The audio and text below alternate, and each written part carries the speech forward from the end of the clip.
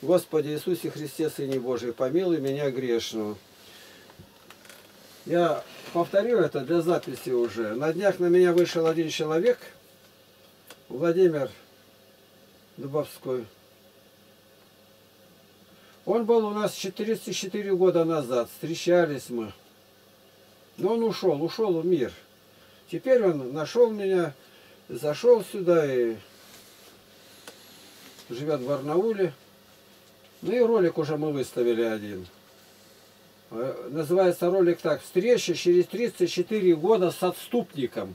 А о нем много есть в 22 томе «Открытым оком». Вопрос 2469. 10 февраля 2017 года этот ролик был выставлен. Вот рядом ролики. Я показываю, как это нажать его. Есть контур, если нажать, и курсором на нее, и сразу на этот ролик выйдешь. И мы начинаем. Была у нас беседа в городе Барнауле, улица 2, строителя 6216. И мы там такой вот вопрос решали там. И он тут был. Показать, как по ступеням уходит человек, уходит, уходит навсегда. Какие причины? И тут все это будет показано. Я уже меньше всего буду комментировать. Приступили. Вопрос 3468, том 22, открытым оком. Есть ли какая-то схема, по которой действует враг, уводя души? Или он все время меняет тактику, и ничего нельзя заранее предсказать? Ответ. Есть такое выражение «грех монотонен». Каждый нарабатывает свой опыт, но есть и общие схемы, основные конструкции, по которым действует враг душ человеческих – дьявол. 2 Коринфянам 2.11 «Чтобы не сделал нам ущерба сатана, ибо нам не безызвестны его умыслы».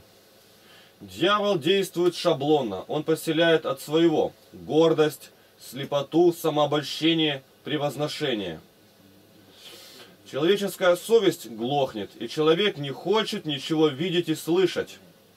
Перед ним прошли падшие, видны еще их следы. Они обрываются на краю пропасти, но он не хочет ничего анализировать, он совершенно безумным делается. В моих архивах много бесед с людьми, есть и с обольстившимися грехом. Грехи от... в книге «Открытым оком», том 5, есть фотография, где мы с отцом Амвросием Юрасовым и отцом Геннадием Фастом. Там стоит и Володя Дыбовской. Фото было сделано почти в дни расставания с ним. Беседа вполне показывает путь падения человека. Теперь он живет в миру. А когда ушел, то уже через месяц наши люди увидели Володю на костылях, где-то по пьянке пострадал. Понимаете, как быстро все это делается. Сегодня хорохорится, возносится, это высокоумие называется. И вот здесь для чего это показать? Показать, как вот ступени эти. Это не наигранно, это не какие-то режиссеры делали, а просто вот так, как было. Эта беседа записана, у меня много записано на магнитофонные ленты было, пленки. И вот потом было это все перенесено в книге. Я говорю, 22 том, открытым оком, бери там и считай. Дальше что? Полное разложение. Это было видно заранее всем но только не ему. 4.11.82 года ко мне в гости в город Барнаул на улицу вторую строительную 6216 приехали новобрачные. С ними прошла беседа и тут же с этим вероотступником. Моя сестра родная Ирина Тихоновна вышла замуж за Бурякова Михаила. И он дальше говорит, Буряков Михаил говорит. Мы тут собрались с Ириной так сказать, в свадебное путешествие. Ну и хотелось бы съездить в Москву, в Ленинград, посмотреть на эти города, повидаться с родственниками, пообщаться с друзьями, с близкими, знакомыми. Он живет, жил в Москве. Я его первый раз увидел в Покровском соборе. Он приехал то ли диссертацию еще, ли материал диссертации собирать-то. Я даже когда просится, никогда домой не допускаю. А тут я сам подошел к нему, на улицу вышел. И первый человек, которого я пригласил к себе. И вот пригласил его, и он остался. Ну а вот материальная сторона поездки еще оказалась слабоватой. Мы просим вас, если есть возможность, помочь нам в этом отношении. Меня просят помочь. Я отвечаю, я никогда не даю денег, прежде чем не узнаю, для чего им нужно это. Но вас я о том и не спрашиваю. Пить вроде не пьете вы, хотя я на сто процентов ручаться не могу. Может, где-то там попадете к неверующему брату, стопку выпьете, щиток, это четверть литра, опрокинете, ну и сами упадете, и смеются тут все. И потому я стараюсь узнать точно, потому что за каждую трату придется рассчитываться перед Богом, отчитываться. Я сразу спрашиваю, с какой целью вам нужно и сколько? Буряков Михаил. Ну, я хотел бы сказать, какие траты. Просили купить ша- платок за 65 рублей, притом японский, причем это как подарок Ирине. Ну вот, обязательно надо выполнить этот Дусин наказ в Москве. Дуся, это моя сестра. И ей, она просила еще за 30 рублей платок, ей лично купить. А денег не дала. Ну вот, пожалуйста, 100 рублей. Ну и потом поездка сама, дорога. Ну вот что останется, конечно, все отдадим. И дальше я отвечаю, а чего останется? Сколько надо-то? Михаил, Да. ну я не могу сейчас точно спрограммировать. Потому что разные там расходы, сколько мы пробудем. На самом деле месяц. Сейчас уже немножко меньше осталось, по 29 число. Я говорю, сколько надо? Ты конкретно говори. Буряков Михаил. Ну вот я спросил, 300 рублей. А 100 рублей сразу летит. И я отвечаю, слово улетит, ты знаешь, понимаешь как? Как воробей, вспорхнула и улетела. А деньги, когда улетают, это очень плохо. Муж, как говорится, трудится для дырявого кошелька, когда жена неэкономная. И далее, Агея 1.6. Вы сеете много, а собираете мало. Едите, но не в сытость. Пьете, но не напиваетесь. Одеваетесь и не согреваетесь. Зарабатывающий плату зарабатывает до дырявого кошелька. Ты уже заранее выпустил на ветер эти деньги. Это платок и 65 рублей. А у меня месячный оклад 72 рубля. Буряков Михаил. Это подарок. Я отвечаю, обожди. Подарки на чужие деньги не покупает. Есть такая пословица. Серахов 21.9. Строящий дом свой на чужие деньги то же, что собирающий камни для своей могилы. Буряков Михаил. А так получилось, что мы, когда при расчете рассчитывались на за свадьбу, за все то все, что с гостей собрали, вы нам дали, мы их как раз в расчет того и пустили. Я говорю, хорошо, что не получилось покупок делать-то. А это как раз и не получилось. Все деньги при вас. У вас платки есть, тех не переносить. Может быть, голова-то рубль стоит, а 65 рублей на эту голову покрывало. Буряков Михаил. Так я-то что, я не против. Э, Думаю, что надо все-таки уважать гостей. А уже раз попросили, Я говорю, все, уже на этом конец разговора. Меня тоже многое просили достать, да не все купил им. Для меня большая радость прийти в магазин, походить, правда я редко и это делаю, это выйти и ничего не купить.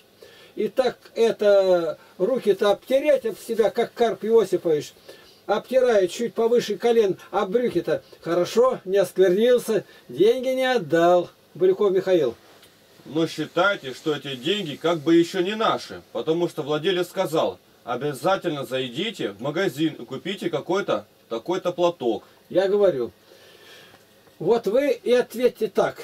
Доехали до одного места, и денег больше не было. И сдержался, говорит, по дурнинке, и ничего больше нету. Все, кончилось. А в дальнейшем придется целый месяц горбиться, искать где-то, да еще попадешь под провод где-нибудь, на работе кирпич упадет, и рассчитываться будет одна хоть жена. Обойдетесь. У нас есть разных тряпочек полно. Тем более в хорошем платке надо не перед собой же красоваться, а перед кем-то.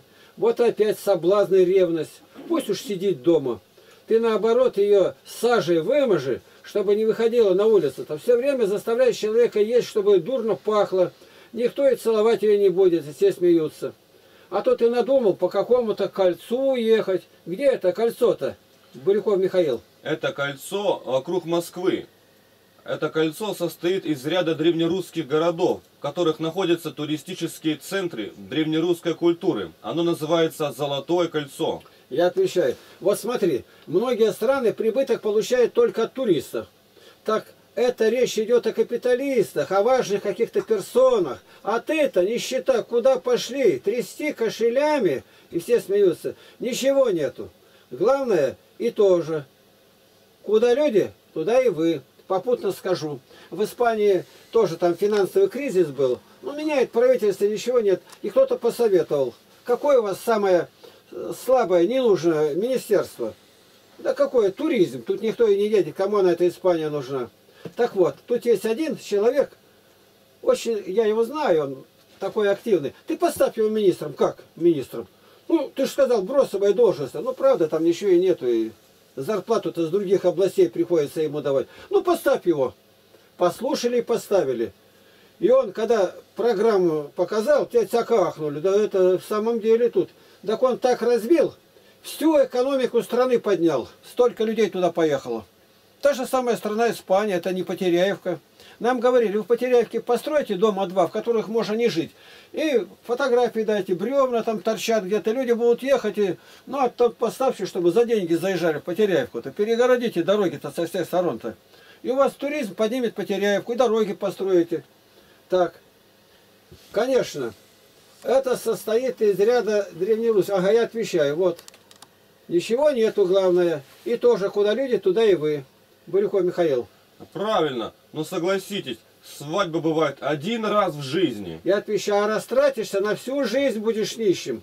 Один раз ты уже перекряхтел, а теперь оставайся человеком. Оно потому и называется золотое, потому что там дуралеев много. Ты слышал, как поют? Не променяй жизнь свою, как тот дуралей на четвертак-то. Ничего не надо. А что посмотреть, так за 25 копеек купи ей открыток-то жене и покажи, ей будет, как будто побывал. И Ирина смеется. И повидали, из тебя дурь маленько и выколотили. Бульков Михаил. Так я же говорю, что это не единственная поездка по Золотому кольцу. Но повидаться с родственниками. Я говорю, с родственниками можно повидаться, можно. Бульков Михаил. Прежде с мамой, хоть мы и весь виделись здесь. Но одно дело здесь, а другое у нее в доме. Как будто разница. Я говорю, согласен. Значит, никаких колец этих не надо, Буряков Михаил. Так нет, если уж по родственникам, то по родственникам. Нужно заехать в Ленинград и во Владимир. Я говорю, не надо. Ты не былиный герой Владимир и не Илья Муромец. Поехал границы объезжать все. Сейчас слякать везде. Вам просушиться даже негде будет. Здоровишко-то слабенькое. Так что ты сидел лучше дома-то, и все будет при тебе. Вот доедешь до Москвы, у отца Дмитрия Дудко побудешь. Сходишь в Патриарший собор в Елохово, съезди в Загорск, к мощам Сергия Радонежска приложитесь. Пойдете там и к Алексею Святителю. Ну вот и все, Буряков Михаил. Ладно. Надо еще и в Александра Невского лавру тоже сходить. Там мемориальное кладбище есть. Я говорю, этого не надо. Мы сами на кладбище когда-то пойдем. Вот нам весь материал и будет. Михаил.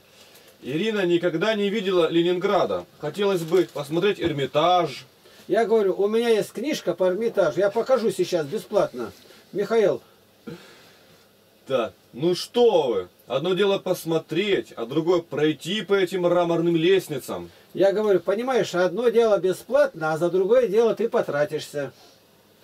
Так, Ирина Тихоновна, жена Михаила и сестры Игнатия. Сестра. Сестра Игнатия. А ты и прочитал сестры Игнатия. Дальше. Мы приедем, нам 200 рублей за кольца сразу дадут, и мы с тобой расчитаемся, а зарплату получу я за месяц. Это Ирина говорит, Ирина. Я говорю, а какие кольца-то золотые? Вот откуда у вас вся эта прихоть-то идет. Оставь. Я купил на себе на свадьбу-то за 45 копеек кольцо. И живу уже столько лет.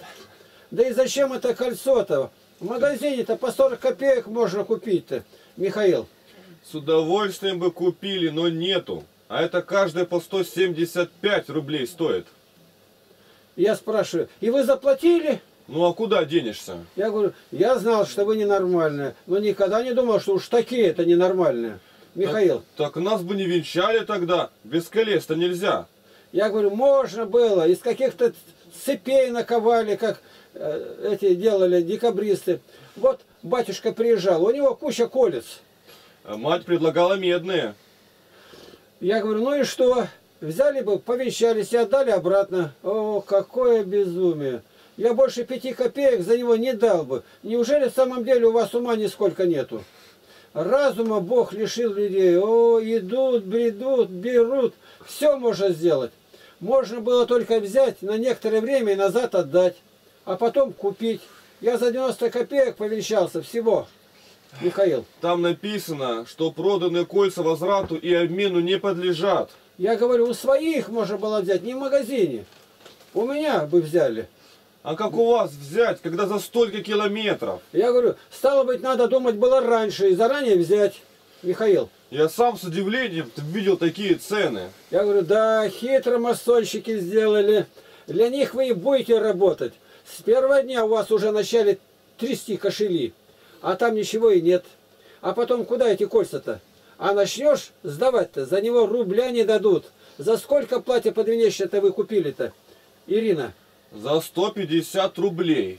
Игнатий, к жене Надежде Васильевна. А у тебя, Надя, сколько венчальное платье стоило-то? Рублей 10?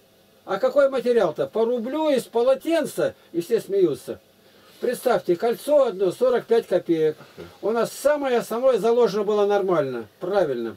А вот теперь я понимаю, что вы, видимо, как не крещеные.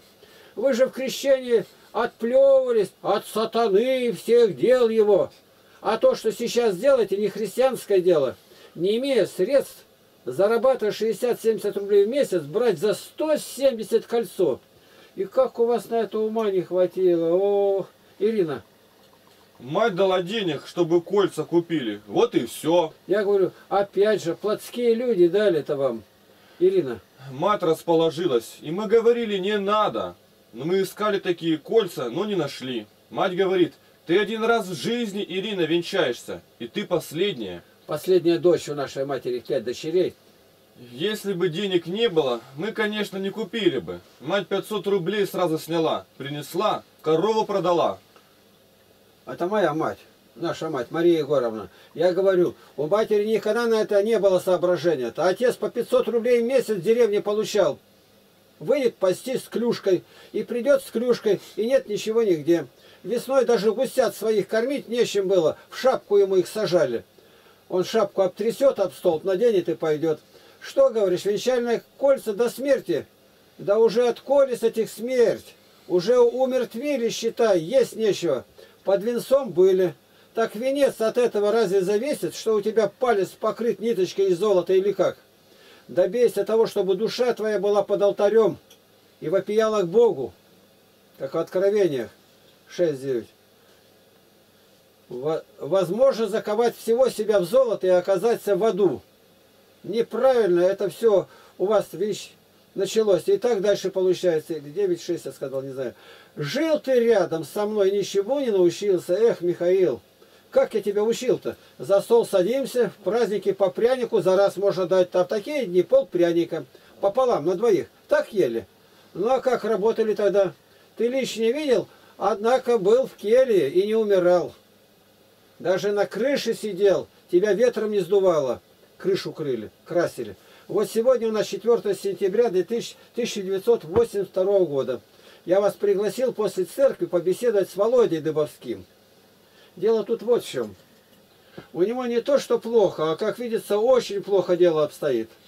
Я ждал этот момент разговора. Я боялся начать раньше, как чири выдавливать, который не созрел. И тогда можно заразу распространить на все тело, раньше времени давить. И позже нельзя уже было. Он дошел уже до той черты, после которой разговор уже бесполезен может быть. Самое главное, что здесь повторилось все то, что было с другими. Один к одному. Приходящая здесь, услышавшая о православии, теперь сразу начинает изыскивать объяснение, что уверовал не здесь, он, дескать, лет назад, 10 лет назад был верующий, оказывается, а мы не знали его этого. Он уже не меньше 10 лет Евангелие изучает, ни в каком грехе он не жил. Пришел в православие якобы в другом месте, а не здесь. Вот что интересно. А здесь только начиналось. И как только он сказал не здесь, как будто бы он, а то, что здесь получил у него, это отнимается, раз не здесь, он отрекся. Он возвращается на то момент, когда пришел, а там ничего и не было. И все, ушел в мир. Притом не один раз, у нас по Теряевке один такой есть. Да я и до занятий в университете знал. Сказал только, и как обрезал, утром встает как облупленный, ничего нету. Вот какое дело-то. Это житие святого Никиты. Он тоже любил лишние шаги делать, ездить-то по золотым кольцам. Утром встал, а друг с ним жил и говорит, Никита, а что с тобой? Он говорит, а что? Да лицо-то у тебя как у негра черного. Он глянул в зеркало, ты и сам себя не узнал. А, а, а что? Да а ты молишься? Он, молюсь. Да как кому молиться? Бога нет. А вчера только молился. Молился, но ходил, свои дела делал. Нет Бога. Превратился в Невзорова. И вот этот Саша теперь по миру гуляет, но он плакал, а не богохульствовал. Не как там монах, который рядом с ним Баранов Михаил у Невзорова. И плакал два года. И веры никакой нету. Нету, плакал, Господи, дай мне веру. Я знаю, что тебя нету, Господи. Нету. Никто космос не творил, что Земля это плоская, и никакого шара нету, и Солнце тут на 7 тысяч километров. Потерял веру во все. И через два года просыпается, и вера, вот она встал сразу, да, земной шар, луна это тень, и легко через горизонт догадаться, что она такая. У него все получилось. В житиях святых, но я озвучиваю в своем уже видении это. Так. Он уже не меньше 10 лет Евангелие изучает, ни в каком грехе он не жил. Пришел он в православие якобы в другом месте, а не здесь. Для нас это, видишь, пройденный этап-то. Здесь у Володи затруднения были относительно жилья. Мы поселили его к тете Оле. У той приезжает дочь. Пришлось срочно опять же уходить. Туда мне пришлось его поселять. Вызвал Валю Коневу. Она его туда поселяла. Здесь ни одного шага получилось без нас он не сделал. Ну как, на занятии и везде, и квартиру ему нашли. Опять же, теперь я разговариваю с Ксенией Степановной. От нее уходит тот безбожник, который был у нее. И буквально в этот же день, еще даже вещи у него -то не были унесены, пришлось Володю к ней поселять, убеждать ее взять его. От одинокой бабушка.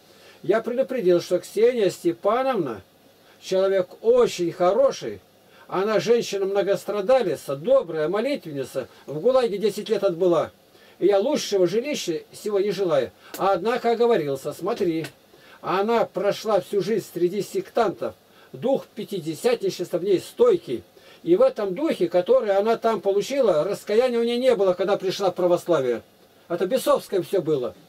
Этот дух распространяется каким-то образом на маломощных. Он сразу начинает такой человек оговаривать. Я говорю, дьявол стоит рядом, не оговаривайся. Он всегда, это с кем-то могло быть, а я опытный. Я читал, много знаю. Он любит эту фразу говорить. Володя Дыбовской подал голос. Я не говорил так ни разу. Я говорю, вчера только Леша Речкунова говорил-то. Да и Андрюша рассказывал. Свидетель еще один этих слов полностью. Тем более, что я эти слова слышал неоднократно, сам, от тебя, Володя Дыбовской. Ну, я не хвалился. Я говорю, не хвалился, а в самом деле много считал, ты знаю, Володя. Много читал. Я говорю, вот выдержки, сейчас, пожалуйста. Тебя еще не бьют, вторую щеку надо подставить. Давай, дадим тебе первое слово сказать. А тогда уж, пожалуйста, помолчи. Ты сейчас уже дерзко себя ведешь, как не подобает вести себя человеку, который должен знать свое место. Уже сейчас в присутствии детей ты уже не можешь утерпеть. Это не так, это не так. Потом для этого будут даны факты более веские, и ты увидишь, что это так. Ты говоришь, я знаю, я, конечно, никуда от православия. Хотя знаю, ты покаялся, или как там у баптистов принято. И у тебя стоял вопрос, где принимать крещение. Сейчас есть, есть люди, которые к нам приходили, но не устояли в том, что им дается-то строгость, что это иной путь, чем у тебя был.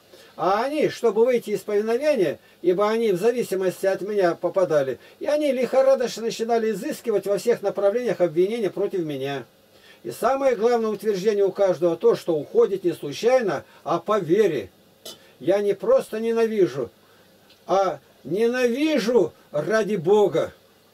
И тогда ненависть получается святая, что вот во мне-то не православное во мне. Вы, Игнатий, здесь не по любви, это вот старообрядческое, значит, сам он успел за это время очень многое понять, увидеть, очень сильно начал воскуряться и воспаляться. Я пытаюсь остановить его даже в дороге-то. Ты со мной ездил. Устраивать споры. И споры даже совсем не по Писанию. Ну, самое простое. Какая земля? Он и тут начинает спорить. И о горизонте, о чем угодно. Несколько раз останавливал. Гляжу, зарывается прямо на ровном месте. На ровном. Что это спрашивают? У тебя чисто национальное такое или откуда? Ты еще не ходил в послушание ни у одного человека. Начинает упрекать лично меня в гордыне, что я отца Дмитрия Дудко не слушать. А почему он вроде должен слушаться меня? Потому что, отвечает, здесь Дмитрий и я, фигуры совсем разные, чем ты. Отца Дмитрия я нашел тогда, когда у меня уже полностью сформировалось все.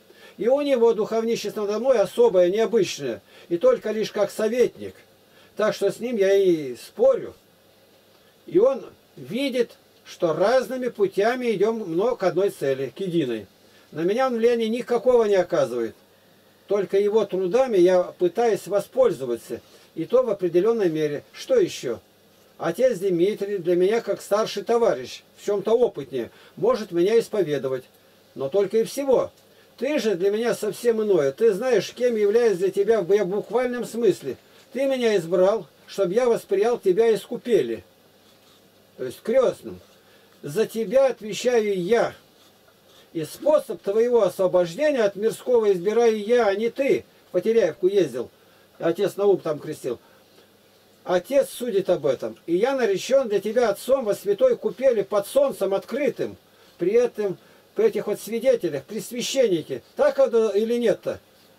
Так. Володя отвечает, так. Я говорю, вы свидетельствуете в этом. Так что приравнивать-то? Видишь, что берет он? Я вроде отца Дмитрия не слушаюсь, притом это тоже неверно. Все, что он говорил конкретно, все это было принято. А остальное мы только выбираем высший путь нашего соединения-то. Володя лихорадочно выискивает пути обвинения. Но это уже пройденный этап. У меня были подобные люди. А они ушли далеко. Только приходится назад возвращать уже в другом положении. Он разворачивается то левым, то правым боком, со всех сторон жжет. Тут есть интересная деталь. Прошу и в этом разобраться. Как Ксении Степановне мы беседовать пойдем еще. Может быть, это тоже будет момент окончательного решения. Она приводит людей, старушек в православие. Приходят и молятся. Но те, которые там живут, она всех их травит против меня. Но фактически-то не меня. Что Игнатий, вот святых отцов каких-то учит он слушать. Зачем отцы? Надо, чтобы Бог сам нам это все открывал. А надо, чтобы получить духа. Так она говорит. Но мы-то знаем, откуда этот дух. Не по слуху знаем, а сами свидетели. И везде, какая бы беседа ни была без меня, везде она, Ксения Степановна, яростно сопротивляется. Дух пятидесятничества из нее изо всех щелей идет а уже стала православная, ходит, причащается. Дух пятидесятничества из нее изо всех щелей идет. При мне ни разу этого не было. Я думаю так, что лукавый очень чуткий в этих вопросах. Володя Добоской. И мне она ни разу о тебе ничего не говорила. Я говорю, значит, знает и людям верным никому не пыталась говорить. Гену Яковлеву и других, а она травила. И они потом приходят, и все говорят мне, зачем ты с ней встречаешься? Ты же видишь, какой у нее дух. Явно, что в ней дух заблуждения. Я говорю, что она очень хорошая. А то учение ее, оно отойдет постепенно. Она как катализатор и только ускоряет процесс отпадения лукавых людей. У нее жил на квартире Гена, после того, как Матюшин не стал с нами иметь общения. А она защитила к нему постоянно. Алексей Матюшин. В Казахстане теперь. Теперь Генин брат Валера, это другой Гена, ей увлекся. И все трое впадают в буквальном смысле слова в блуд, в разврат. Сама она девственница, прожила жизнь одна. Как только люди ушли, и оба изменили женам, там где и впали в блуд. Приходят и говорят, как случилось, сам не могу понять. Расходятся с женами и уходят. Есть ли какая между этими связь? Этим. Но учитывая, что уклонение от православия есть прелюбодеяние против церкви, то, по-моему, очень близко просматривается. Как тебе кажется? Володя отвечает. Да, получается так, что блуд духовный ведет к блуду плотскому. Вот так. Они ушли и сразу же, ну еще, на исповедь не идти. Нашлась бабенка. Я говорю, Володя начинает утверждать, что я обращаюсь с мирскими людьми не с любовью. Что вот у меня все под законом, каноны, а он под благодатью. Я уже только под законом остался. Значит, ему нужно такое. Пришел, ушел, и на этом конец. Если ты это избираешь, то мы сейчас и решим. Я тебе сегодня ставлю такие рамки, которых ты еще и не видел даже. Ты волен сейчас их принять или отвергнуть. Результат. Если ты их примешь, буквально начнешь исполнять. Больше ни единого пререкания не будет. Минимум в течение трех лет. Ты будешь заканчивать у меня университет здесь. Каждый шаг, каждое движение будет взято под контроль. Нет, значит ты добровольно уходишь, и я думаю, далеко ты не уйдешь. Тебя никто не зазомбировал. Дальнейшая участь прорисовывается так. Если взять, что ты четвертый, то предыдущие ушедшие три человека, 75% показали блуд, которые в последнее время пришли, четыре человека. Ну дай Бог, чтобы 25% не пошли туда. С ужасом смотрю я, у меня есть опыт 21 год, но сегодня это не 21 год, а 54. У тебя еще нет полгода. А апостол Павел говорит, считай. Филиппийцам 2.12. Итак, возлюбленные мои, как вы всегда были послушны, не только в присутствии моем, но гораздо более ныне, во время отсутствия моего, со страхом и трепетом совершайте свое спасение. Павел непрестанно стонал. Галатам 4.19. Дети мои, для которых я снова в муках рождения, доколе не изобразится в вас Христос. И посмотри, Галатам 3.1. Кто прельстил вас не покоряться истине? для других, говорит, я не апостол, но не для вас. Выслушай, какие правила даны тебе, чтобы ты знал, что тебе отвечать. Первое. В течение десяти дней, ни одного дня ты никуда не ходи. Он не работал. Я скажу сначала, что в том и в другом случае будет. Взгляды твои меня сейчас не интересуют. Ты их уже высказал. Ничего не скажешь ты сейчас другого, а только то, что должен сказать. Дальше говорит Надежда Васильевна, жена Игнатия. Сейчас Игнатий Тихонович хочет просто сказать и предупредить о чем-то. Я говорю, чтобы ты знал, чем тебе закончить разговор. Не беспокойся. Ты будешь знать, что выбирать себе. Или беспрекословное подчинение, и на полумеры я не соглашаюсь. Мне это влияние не нужно. Я за тебя отвечаю перед Богом. Держать не буду ни одного. Иоанна 6, 67. Тогда Иисус сказал 12. Не хотите ли и вы отойти? Златоуст эти же слова повторяет, что пусть хотя бы и один остался он, но зато исполнит порученное, как заповедал ему отец. Что отец должен делать с непокорным сыном? Златоуст говорит, первосвященник Илий должен был связывать, избивать и изгонять сыновей своих. Тогда ты будешь оправдан перед Богом. То есть я буду оправдан. Так научает первосвятитель Иоанн Златоуст. Я тебя сейчас в первую очередь связываю. Связываю тем, что ты строго должен будешь исполнять. В течение 10 дней напрячь все силы, попросить всех знакомых, чтобы от Ксении Степановны уйти. Это первое условие. Второе. За это время, в течение месяца, если все будет принято, больше нигде не будешь появляться, то есть к людям ходить. Будут все люди предупреждены. Ты больше ни в чей дом не будешь входить. Наши друзья-то принимали все его. Для того, чтобы ты мог сейчас самостоятельно углубиться, заняться Словом Божьим. И третье. Все книги, которые не относятся к Библии, все эти романы, которые ты выискиваешь, все уничтожь, выбрось. Если книга хорошая и она не нужна, то сдай. Есть такие магазины, где принимают. Пока три самые маленькие пункта тебе, которые ты должен будешь исполнять. И на это скажешь сейчас, принимаешь ты их или не принимаешь, пожалуйста. Володя Дубовской. Прежде вы выслушаете все мои мнения, как я к этому пришел. Сейчас будет возможность. Я должен высказаться перед всеми братьями и сестрами, здесь присутствующими, как я пришел к такому выводу. Я отвечаю, к какому именно? Объясни слово «вывод». Володя Дубовской. Ну вот то, что я сказал, что вы идете не по православному пути. Почему я считаю, что вы придерживаетесь Ветхого Завета, то есть людей хотите под закон запрячь? На это вы и сами отвечаете, что так оно и есть. Новый Завет для вас не Новый Завет, а Библия вся, насквозь Библия. И ее, значит, надо исполнять фактически. А ведь закон, в общем, Христос сказал, возлюби Бога всем сердцем своим, всем разумением своим и ближнего, как самого себя. Это есть закон и пророки. Весь закон и пророки.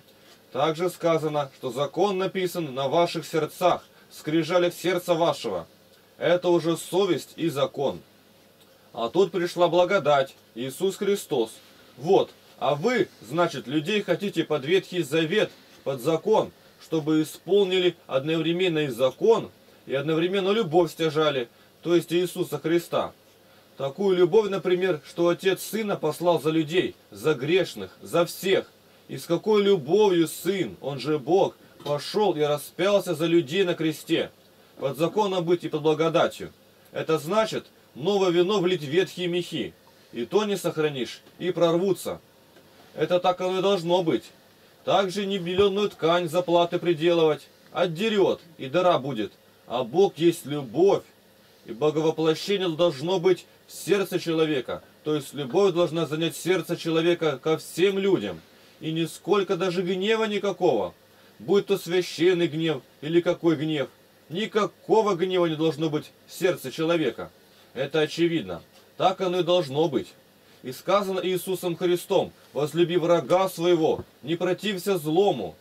А какие враги наши, безбожники? Или как вы их называете? Это еще надо разобраться, с Богом или без Бога. Они распинают Христа, но они не без Бога. И из проповеди отца Дмитрия можно услышать, что они распинают Христа, но они не безбожники. Видите, в чем смысл? То есть вот это, я вам не- не- небольшую вставку хочу сказать, любвисты. Но они не безбожники, нет. Все верят. А во что верят? Верят в всякую глупость. Если бы они были безбожники, то это свойственно было бы им. Сердце жестокое в них, и они не болели бы сердечно-сосудистыми заболеваниями, которыми все повально болеют. Значит, у них сердце-то мягкое, значит, они распинают его, значит, они носят, кого распинают. Впереди-то слова говорил, все по Писанию, что набрался, а дальше у него галиматья сплошная идет. Так не только это, а только часть открывает. Я ничего не добавляю. Значит, Значит, от- отношение к ним совершенно другое. Неужели к язычникам безбожным было такое отношение две тысячи лет назад, когда Господь пришел? Времена-то разные. Имеет человек возраст подростковый и взрослый. Это в средние века, значит, выходили люди с кинжалами, ходили постоянно. В храмах было много. Да, пожалуйста. Есть свидетельства летописцев, есть свидетельства писателей. Какая жестокость была в сердцах людей, а храмов много было. А где Бог жил? Он в храмах Бог жил. А когда Бог вселился в человека? Сейчас. раньше его не было, а сейчас он вселился. В России посмотрите, когда Бог вселился в человека. В России, когда Бог вселился в человека, такой вопрос никогда не, не услышишь. Сколько поколений наши предки Бога принимали внутрь в храме, и Он не воплотился в человека, так и остался. Этого быть не может. Мы видим 19 век, развитие творчества, любви, прочих искусств. Это что, не Дух Божий в человеке? Это Дух Божий, а сейчас он распинается. Это Дух Божий в человеке. Дух Божий распинается, понимаете? Сразу-то сколько открывается. распинается, идет разврат. А распинается, любовь по закону падает. По причине беззакония охлаждается любовь в человеке. Он ищет и находит закон этот. И вот вы к ветхому закону и тянете. А, например, Слава Иисусу Христу! а, например, формазоны тоже туда же идут. Они тоже хотят под ветхий закон подвести людей. И антихрист. И вы тоже одеваете в неудобоносимый закон людей, совмещая благодать и закон. А одно только надо, ведь Бога в сердце иметь надо. Достоевский говорил, богоносец русский народ, то есть Бога носит в сердце. Любовь, не гнев, а любовь. А вы такую четкую грань разделили, что совершенно не чувствуете времени. Что было в прошлые времена, в античные? Какой человек был? В варварские времена какой, какой человек был? Да он женой своей, как кончилась зима, переспал. Дети наплодились, жену вывел, зарезал, закопал. Ребенка головой о столб, закопал и пошел с братьями-казаками грабить. Ну, скажи, нормальный человек говорит? Я еще, не- А? я еще не дочитал. Ну так ты считай, ну вот смотри, это человек, которым вышли мы, сейчас он сам у меня вышел, уже один ролик есть. Вот такое время еще было. Все эти нравы смягчились, и сердце-то обмягчилось. Совесть-то – это закон Божий. Закон Ветхозавет не вошел в совесть. А тут Ну, говори, ни одного слова не, не добавлено, не убавлено, повторяю, это с пленки. А тут и благодать, и все. Как так не понимать этого? Мы сейчас находимся в таком периоде, и пророчество говорит, и залью на всякую плоть. Благодать последнее время. Даже посмотреть на маленьких ребятишек, они рисуют. Как, посмотрите. А как древние люди рисовали? Посмотришь, но не взрослые рисовали так. А сейчас дети рисуют так. Это же видно, что Дух Божий вселяется. Но распинается он одновременно. И такое отношение к миру совершенно неприемлемо. Православная церковь так не учит. И отец Дмитрий не учит, ни отец Амросий. Я не знаю, какого мнения иеромонах Игнатий, но он, по-моему, по духу то же самое. Отец Павел из Канта, отец Иоанн в тайге. То есть я где его провез с собой, ко всем к этим людям, он со мной ездил. Сколько вот я за ним знакомился. И это очевидно, что так. Это более сложно. А не как вы так категорично говорите. И все такое, какие законы оставляете для людей неудобоносимые. Да по вашему лицу видно, что вы состарились раньше времени. Что вы с трудом таки вытягиваете все это. С таким очень упорным трудом, что вы становитесь нервный, раздражительный раньше времени, потому что сливаете на два несовместимых – закон и любовь а они не сходятся никак. И вам трудно, и жене вашей трудно. Я так вот догадываюсь, что трудно это совместить. Тяжкая иго. А одно надо – любовь. Там что сказано? Что даже пойдешь на костер, сожжешь свое тело, отдашь, отдашь все имение свое, звание будешь иметь. Ну, полностью все тайны будешь знать, все тайны беззакония. Все знать, а любви не имеешь, ничто на, напрасно. Потому что Бог есть любовь. Любовь в сердце посели и все. И все на этом. Это самый основной стержень. Вот его поймай и все. Больше ничего тебе не надо и спасешься. И один страх только должен быть, чтобы не потерять эту любовь. Как бы не потерять любовь к ближнему. Такую любовь, как он говорит. Вот иконка, посмотрите. Господь говорит, возлюбите друг друга, как я возлюбил вас, написано. Любите. А как он возлюбил нас? Он пошел на крест. За людей пошел на крест, за грешных, сидел с грешниками. Фарисеи подошли. Что ты с грешниками сидишь, говорят. Да кто же имеет нужду во враче, не больные ли? Да если мы в Бога в себе носим, если любовь к людям имеем, то мы должны, наверное, к ним идти, а не шарахаться от них, как от диких зверей. Они сейчас измучены, они распинают себе Христа. Больные люди психически и сердечно, а мы их еще ослабляем. Я сам пришел к вам с гипертонией и от всей этой передрязги в миру. А вы постоянно ставите такие условия, что действительно трудно выполнить, раздражаясь постоянно. Да какая же любовь-то? Несовместимость. Это даже чутьем несовместимо. Я проехал с вами месяц, потом приехал и заболел. Физически заболел от тягости такой душевной. Что тут-то не тут было. Заболел. Вот отец Амвросий приехал, я помолился Богу. Думаю, Господи, да пошли ты мне облегчение какое. А отец Амвросий, ну это совершенно другое существо. Это ангел во плоти. Смиренный. Да смириться при таким одна благодать.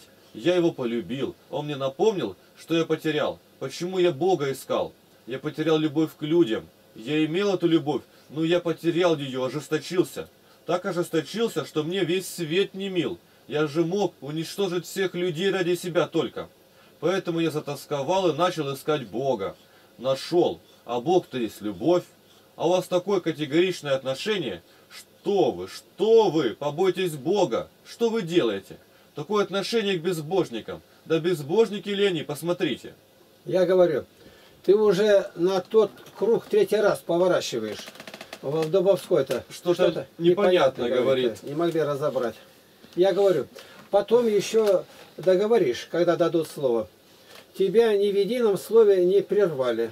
научись в первую очередь, если у тебя есть любовь, сидеть спокойно, когда разговаривают другие. Потому что Дух Божий ведет себя спокойно. Дух пророчески повинуется пророков, а у тебя он не повинуется. Вот ты уже показал, какой это дух. Значит, нужно очень внимательно на это смотреть. И ты не увидел, что отец Амбросий сказал мне другое, глядя на вас. Никакой строгости у вас нет. То есть он у меня был и говорит, у меня приклад, что у меня строгости никакой нету. А у них в монастыре там есть. Он как раз и повелел мне ужесточить к непослушным отношениям. У вас психика не выдерживает ни единого слова, замечания.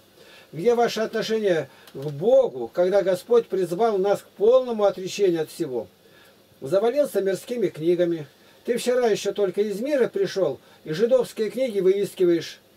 В это время говорит Шитикова Валентина Афанасьевна.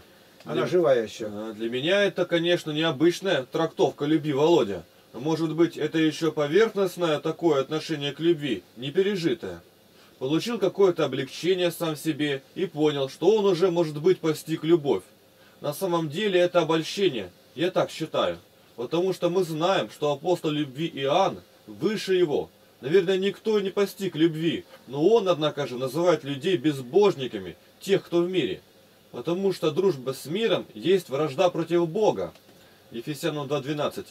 Вы были в то время без Христа, отчуждены от общества израильского, чужды заветов обетования, не имели надежды и были безбожники в мире. А то, что в сердце человека заложено Богом и доброе, но сам человек избирает худое. Это мы знаем, что Дух Божий трудится в сердцах, а иначе бы люди не прощали.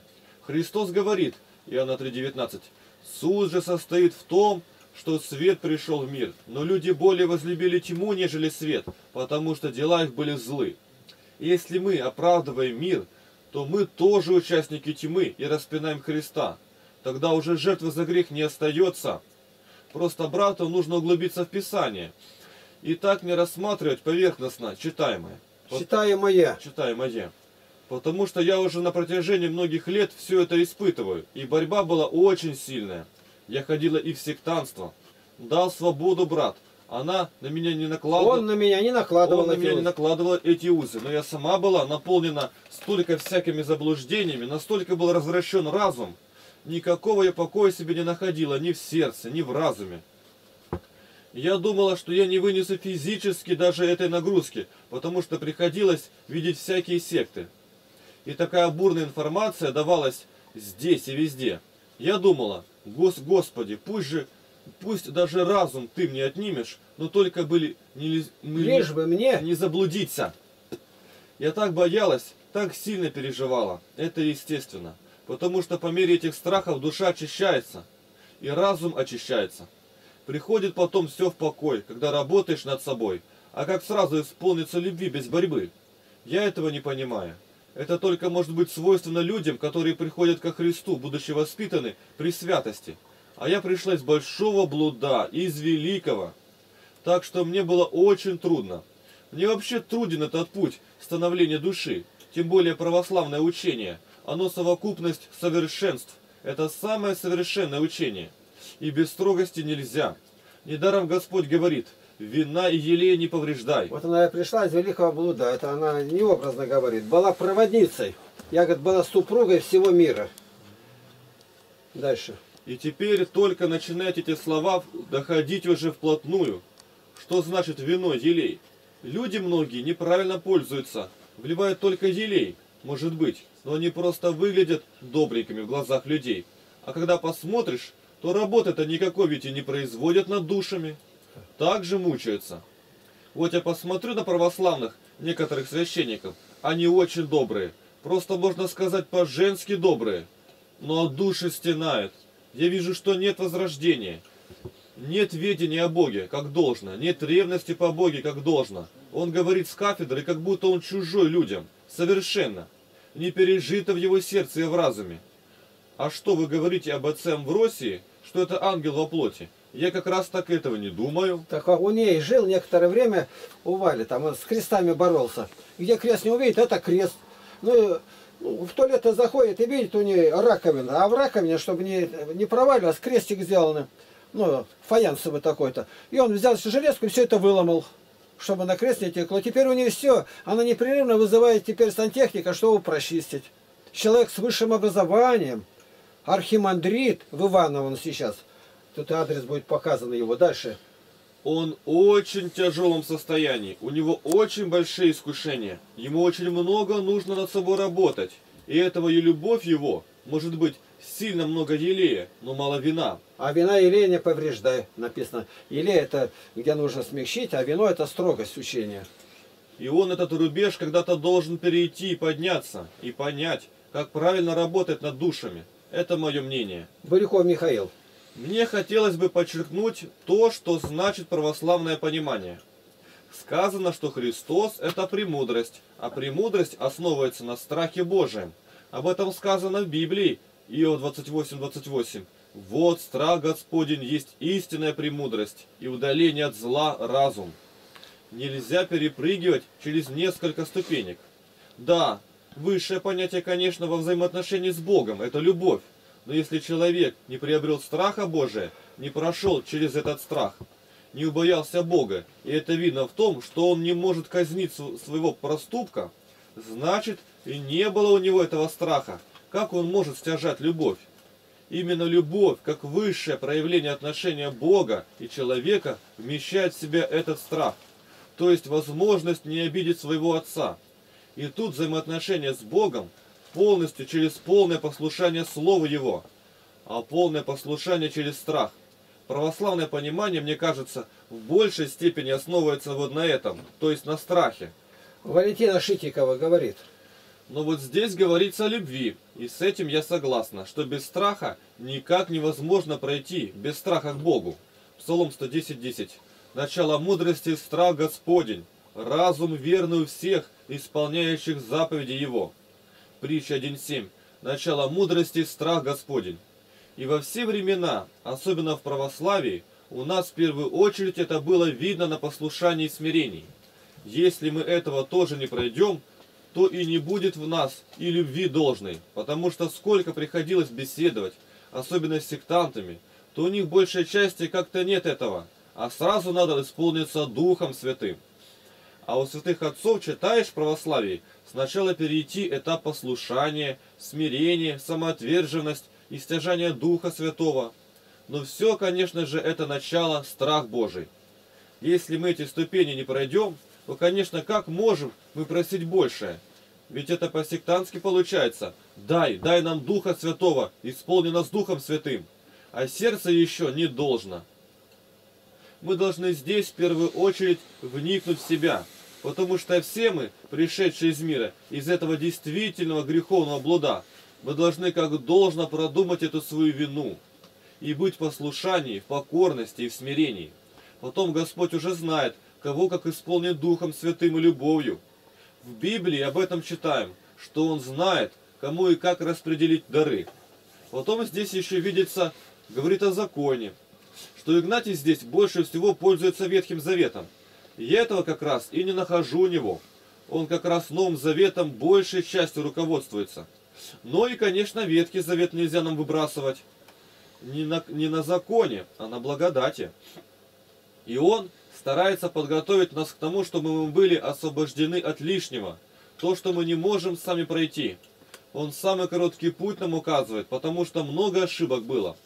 Он хочет от человека добиться сразу полезного – чтобы человек не блуждал далеко, а сразу шел прямым путем. Это она обо мне говорит. Именно как указывает православный путь. И не по сектантскому, а по православному, как учат святые отцы. И если это нужно хорошо узнать, то, то надо почитать и добротолюбие. И мы, читая эти книги святых отцов, видим, что мы вовсе как бы не начинали еще путь правильно. Так можно рассудить. А что в нас, как Володя высказался, что было тяжело ему – это переломный период, это духовная война идет, и это естественно. Поэтому мы должны не винить человека в том, что к вам строго отнеслись. Как-то не так, как бы мы этого хотели бы, но надо проверить себя, скорее всего. Вникнуть во все это, побыть наедине с Господом и руководствуясь Евангелием и читая святых отцов. Конечно, нагрузка большая. И то, что Игнатий относится так строго, надо полагать, не каждый это выдерживает. А мы потому только не можем выдержать, что не можем смириться как должно. В нас еще бушует себялюбие, гордость, надменность, то, от чего мы еще не освободились. Конечно, это нам тяжело. И этапы эти пройти нам очень трудно без Христа, поэтому нужно уединенно молиться, переживешь. Это действительно муки рождения каждого. Если он увидел, что человек обращается к Богу, и вдруг он уходит в сторону, это разве не переживание? Сколько он работает над каждой душой, кто это видит? А каждая душа у него половину здоровья уносит. А этого никто не видит. Только видит, что, мол, гнев, и все у него проявляется. А гнев-то какой? Ведь не написано, что не гневайтесь. Написано, Псалом 4.5, «Гневайтесь, не согрешайте, размыслите в сердцах ваших на ложах ваших и утишитесь». Ефесянам 4.26, «Гневаясь, не согрешайте, солнце да не зайдет в гневе вашем». А у него это гнев не то, чтобы со злостью какой-то, или вред человека принести, а наоборот приносит пользу вытащить человека из той заразы, в которую он заходит, освободить его, помочь ему. Это работа. Не то, что вот человек один с собой занимается, а это работа над душами. Не так-то легко это все дается. Это нужно все в голове держать, и мирское, и религиозное, и противосектантское, и правильно дать ответы на все вопросы. А вы, я чувствую, правильно еще ни разу не отвечали на все вопросы. Я вот слышала, как вы начинаете с безбожниками беседовать. Далеко не так, как должно с ними беседовать. Конечно, любовь мы должны проявить человеку, безусловно. И вот за это и, это и стоит. Он, то есть я стою именно за это и стою. Но только не участвовать в их делах. разница там в чем должна быть? В том, что свидетельствовать нужно с любовью, с кротостью, чтобы они пришли, и в этом наша обязанность. Далее я говорю, мы сейчас будем говорить по пять минут, чтобы времени хватило. Касаясь Володиного запрещенного приема. В беседе и в полемике употребляли его миссионеры, когда беседовали с сектантами, делали личные выпады. Удивительно, что говоря о любви, ты скатился сразу до этого. То есть абсолютно бесконтрольно рассуждаешь. Внешний вид весьма обманчив. Это раз. И Библия многократно говорит – Иоанна 7,24. Не судите по наружности, но судите судом праведным. Видишь, уже начал еще говорить. Вот вы раньше времени там состарились, то другое. А мне встречаются люди, которые говорят, да, ну вы еще то ли не стареете. А по, по телефону говорю, у вас голос-то молодой. Ну что говорит, ну в то время возраст моложе был. Библия о том предупреждает многократно. Куда ты залез-то? Значит, действительно ничего не можешь найти, если бросаешься на то, что никак не может быть доказательством. Да, в нем, в самом Христе, Исаия. 53.2. Нет в нем ни вида, ни величия, и мы видели его, и не было в нем вида, который привлекал бы нас к нему. Обезображен паще всех сынов человеческих. Ты бы сказал точно так же. Как человек быстрее может достигнуть Господа, спать долго или мало. Если в тебе любовь Божия, и ты достиг совершенства, то даже во время тех восьми дней, что мы пробыли в Москве, когда Господь многих поднимал вместе на молитву, я, ты это видел. Почему ты тебя так ни разу не увидел на ночной молитве? Когда мы вставали, все молились, а он лежал, спал. Ни разу не вставал. Вставали мы рано в шестом часу, а другие вставали в четыре часа ночью. Ну почему же тебя Дух Божий-то ни разу здесь не поднял-то? Как бы ни было тяжело, но если бы ты почитал жития святых, то увидел бы, как они уходили, какие надевали вереги, как упоминает Златоуст. Все это под законом, по Володиному мнению. Вот он, дух сектанства, ощетинившийся, злобный против всего святого выходит, выкапывает пещеру, отдельно подрывает здоровье, так Златоуста возвращается, Афанасий Великий уходит. И там из пещеры разражается такими письмами, которые потрясают всю вселенную. Что делают первые христиане? Что они налагают на себя? Ни один никуда не удалялся. Сколько гнева было вылито на них. Но взамен была одна любовь. А в чем любовь выражалась? Часто в словах неласковых, я вспоминаю апостола Павла, каким гневом блестели его глаза. Объясняя это место, Ян Златоуст говорит, что такое похоть? То есть зло или не зло? Он говорит, зло и не зло. То есть сама похоть это зло. А в человеке заложен на продолжение рода. Но как ты сие употребишь? Можешь полностью себя смирить. Есть, ну я скопил себя. а дано для продолжения рода. Другой может распустить себя так, не знает никакой меры. Точно так и гнев. Гнев у человека должен быть праведный э, на неправду. Псалом 96, 10. «Любящие Господа, ненавидьте зло. Не любите, а ненавидьте. Он хранит души святых своих, из руки нечестивых избавляет их». Апостол Павел сказал, Деяние 13.10, «О, исполненный всякого коварства и всякого злодейства, сын дьявола, враг всякой неправды, Правда. всякой Откуда неправда у тебя? Буква не лепится. То сатана искушает как. Перестанешь ли ты совращать с прямых путей Господних? Понять, сатана, прямо сейчас сатана э, не, не подкинул. Это речь идет о дьяволе. Павел разве про грех гнева не знал? Не любите мира, не того, что в мире. Как тебя этот дух блуда уже сейчас ворочает? Надо любить и мир этот. Удивительное, чем у отступников все и связано. О любви. Как сейчас даже Христос спрашивает, дошли до полного безумия. Христос спрашивает, Петр, любишь ли ты меня? И начинает говорить, так это гомосексуализм, с ним вступал в связь половую. То есть никакой меры у сатаны ничего нету. Дальше. Эти трое, забыл сказать, все трое сразу же сбрили бороды, которые у нас были. По внешнему виду ты это показать должен. Если ты только не, не отстанешь от этого зла. Он сразу все это убрал. Здесь же стал разделять закон и благодать. Закон это ветховетний, ветхозаветний агнец. А десятисловие осталось в силе. Нигде Бог его не отменил. Пришел не нарушить, но исполнить Ветхий Завет. 40 дней женщина нечистая. И сегодня так же. А у нас соблюдается? Да. Ты еще с православием даже и рядом не стоял. Все у нас ветхозаветнее служение, только в новозаветней упаковке. То есть вот святая святых, и разделение, и образа оттуда идут, и надписи, и позвонки, и формы священной одежды, и как называются подрясники. И нам говорить, что нам Ветхий Завет не нужен, а совершенно не знать, о чем говорить. Библия вся в современном понимании должна быть только так, как понимали святые отцы. Это два крыла. Далеко на одном крыле птица не улетит. Будет только ковылять и крутиться на месте. С одним веслом и лодка не плывет. Дал два динария самарянин гостинику. Два динария. Два. Это Ветхий Новый Завет. Такое толкование. Всюду везде припоясан золотым поясом по перстям в Откровении Христос. Это означает символ любви Ветхого и Нового Завета. У Златоуста не менее 30 проповедей о единстве Ветхого и Нового Завета. И ни одна строчка оттуда не выброшена, но только поднята на ту высоту, до которой угодно было Господу Богу. И на большую будет поднята в небе. Заплата и вино, я его слова Володина разбираю, значит Ветхий Завет это вдруг для него оказалась старая заплата. Да здесь-то говорится о ветхой природе человека. Вот что вы вливаете-то. Это слова Ксении Степановны. Что значит не заниматься Словом Божьим?